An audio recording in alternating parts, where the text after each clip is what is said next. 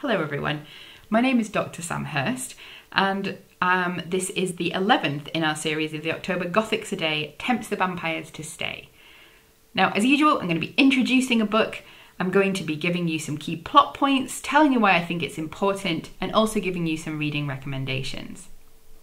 Today is one of my favourite books of all time. I know I sort of said that yesterday, but this is where my journey with the Gothic began, really, back when I was an undergrad, and somebody recommended this to me, and I have never looked back.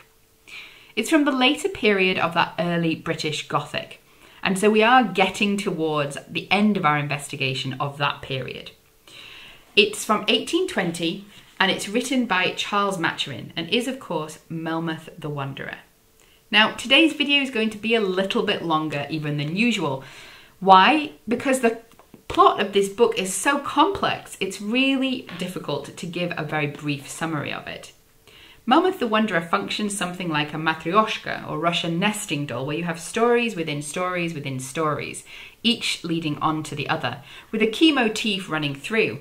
The motif is the character of Melmoth the Wanderer, a shadowy, quasi demonic figure who is offering a deal too terrible to be named to people in various degrees of extremity, while most of them are at the nth degree of extremity when he comes into their lives.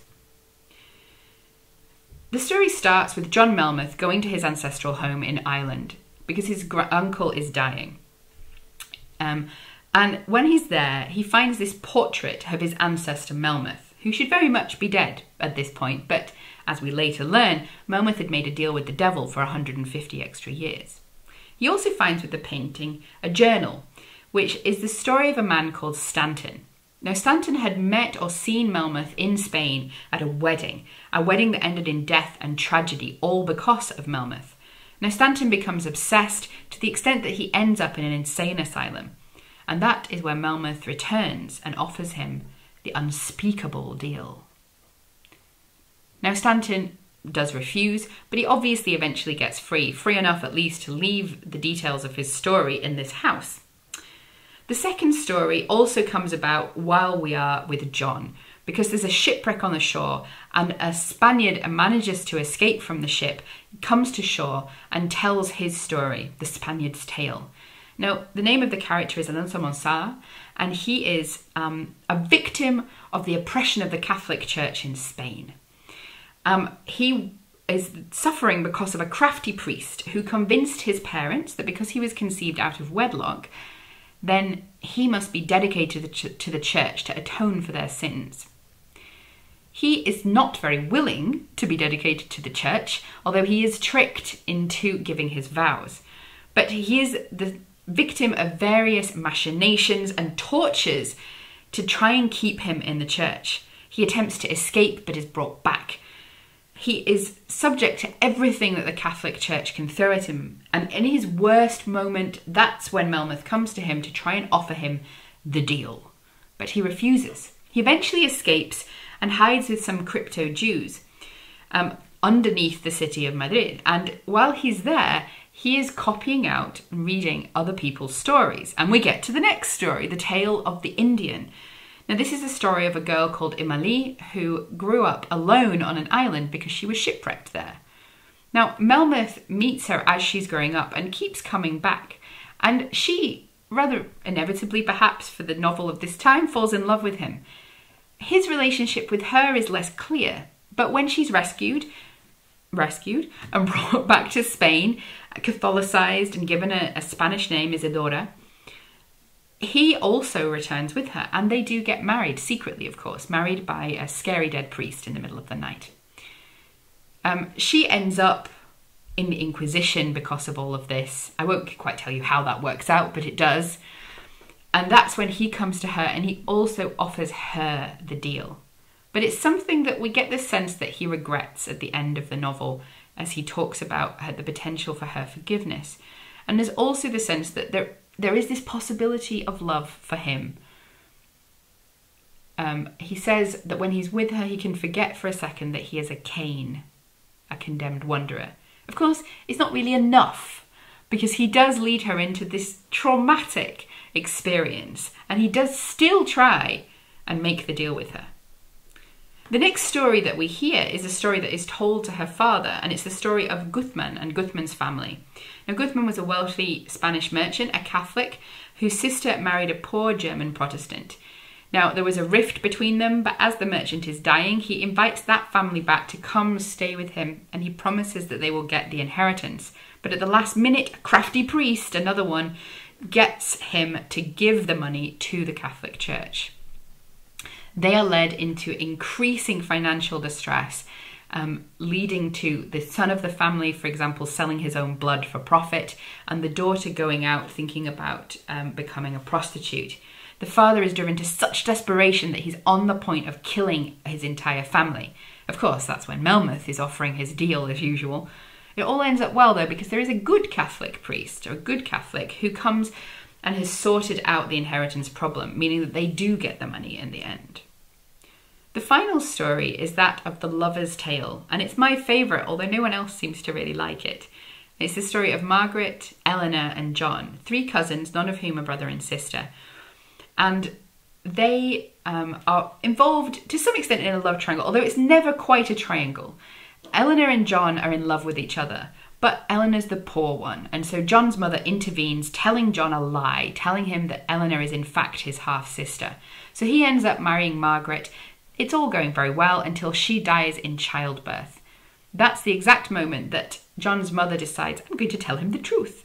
And he goes mad and never returns properly to consciousness or, or to being able to understand the world and interact with it. He's looked after until his death by Eleanor, however, and of course she is the victim that Melmoth attempts to prey on, but she too stands firm. As we reach the end of the lover's story, we start to come back out of all the stories that we've gone through. And we end once again with John and Monçada in the house in Ireland and Melmoth himself enters the scene. Because his time is up, his 150 years is up, and he's just waiting for the devil to claim the soul that he made a deal to give away. Because, of course, that was the unspeakable deal that was being talked about all the time.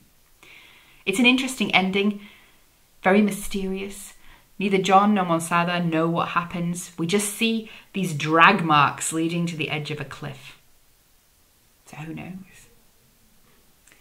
Now, this book is interesting um, for a number of different reasons, and I can give you just a couple of them. It's a really good example of the Irish Gothic for a start, and it's also interesting because of when it was written in the 1820s, when really the Gothic was going into decline, but this book had that sort of popular appeal that had a little bit of a resurgence. For me, what's always been interesting about this book is the treatment of religion because it's often seen as a highly anti Catholic book, but it's a book that allows us to challenge a quite simplistic idea of anti Catholicism. I always recommend reading this in accordance with um, Maturin's sermons because he was a clergyman in the Church of Ireland, which is in communion with the Anglican Church in England, the Church of England. And in his sermons, he always makes sure to denounce the Catholic Church, but to differentiate between institution and individual, saying that Catholics themselves, of course, could be saved.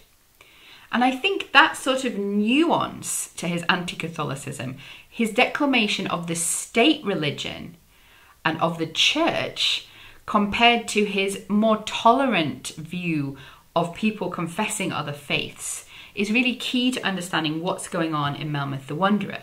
Because, of course, we have these classic anti Catholic tropes going on with the machinations of the Catholic Church against Monçada. But we also have the good bishop who saves Monçada. And the same in the Guzman story. We have these machinations, but we have the good Catholic who helps them, who saves them essentially. Also interesting in Charles Maturin's work is it dissolves this idea that we have often when we're talking about the Gothic of like a very simplistic Catholic versus Protestant, because Maturin deliberately depicts a number of different Protestant denominations as well. Eleanor, for example, is a Catholic, uh, not a Catholic, a Quaker, very much not a Catholic.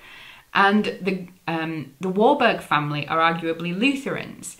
Other characters are very clearly Calvinists. So there's a really, a really big mix of different religious denominations being depicted in the text. And what's interesting, of course, is that each and every one of them refuses to give up their soul in the deal that Mat- uh, Melmoth is trying to make. And that's part of the point of the whole novel. That's what Maturin tells us. He says the idea came to him when he was doing a sermon, and he was saying to his congregation, nobody would give up their soul. And so here, in fictional form, he's proving it. But that nobody doesn't just include people of the true faith or the proper faith, it includes people from all different denominations. And if they had already lost their salvation by wrong confession, would it really matter that much whether they refused to give it up or not? I don't think so. I think we can read this text as an interesting interrogation of the interplay between anti Catholicism and toleration, and I would recommend doing so. Um, particularly recommend reading Maturin's sermons. But for some other reading recommendations, I would point you towards Maturin's other works. He's fascinating as a writer who is often engaging with Irish history, and so I would recommend The Milesian Chief um, in that regard. Also, if you're interested in seeing more or investigating more about his interactions with religion and particularly with discourses of toleration, I recommend The Albigensian. So, I hope that you enjoyed this talk. I'm sorry it was so long, but I hope it was worth it. And I will see you tomorrow.